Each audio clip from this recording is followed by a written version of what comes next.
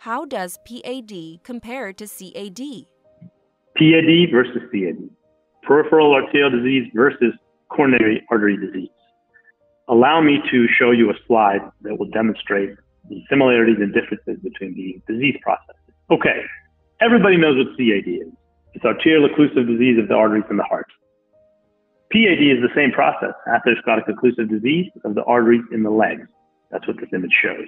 The downstream result, the natural course of untreated and undiagnosed PAD is in most cases, not all, most cases, major amputation. Major amputation is devastating both from a morbidity and mortality standpoint and from a cost standpoint. All in costs about $120,000 to society. Of course, we all know that there's a secondary prevention mechanism, endovascular revascularization. That procedure, if the patient's caught early enough by relatively benign endovascular means, balloon angioplasty, atherectomy, and stent, or some combination therein, arterial blood flow can be restored and amputation can be prevented or at least uh, postponed for many years later. Okay? Let's compare PAD versus CAD.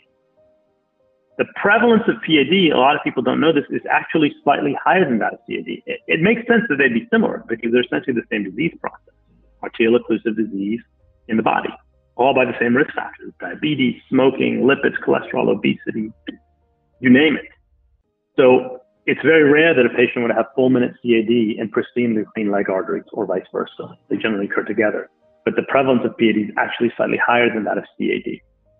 Now, Let's talk about the awareness of the two.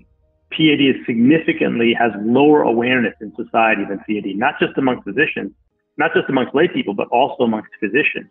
If you think about it, if Grandma Gertrude has chest pain or shortness of breath, she immediately thinks, I might be having a heart attack. I need to go to the ER. She might even know that she needs an EKG, chest x-ray, cardiac enzymes. Even if she doesn't know that part, she knows that she needs to go to the ER. She might be having a heart attack.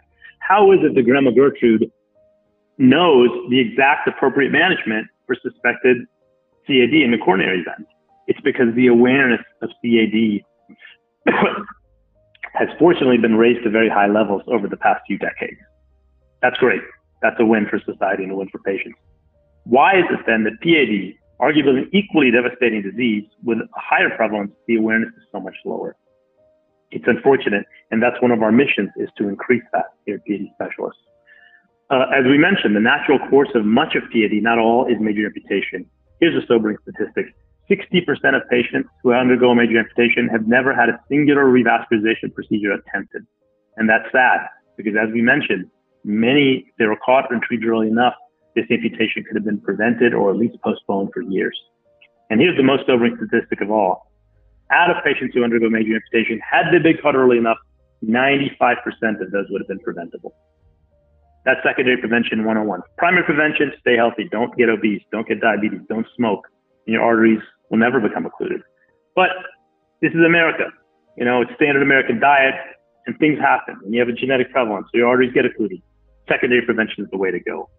PAD specialist, someone, someone like us, get evaluated. If you need an endovascular procedure, that can be done safely with great effect and those amputations can be prevented or at least postponed. So PAD, CAD, similar diseases. PAD the same or slightly high prevalence, awareness is much lower. So, uh, referring physician, patients watching this video, keep in mind if you have a wound or leg pain on your legs, if a wound isn't healing, you have leg pain, and there's no other obvious cause like arthritis or cramps, think PAD. Has to be referred by your uh, primary care physician or podiatrist, hopefully to someone like us, PAD specialist. Uh, referring physicians out there, um, just as chest pain and shortness of breath are part of the questionnaire for every single patient seeing any doctor for anything.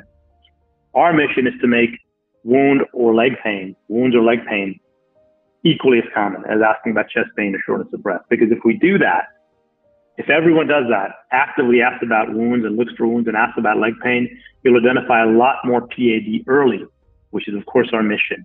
Hopefully you'll refer to us or refer to someone who can evaluate those patients. And if they meet the criteria for endovascular procedure, they can do that procedure and open up their arteries and prevent the worsening of disease.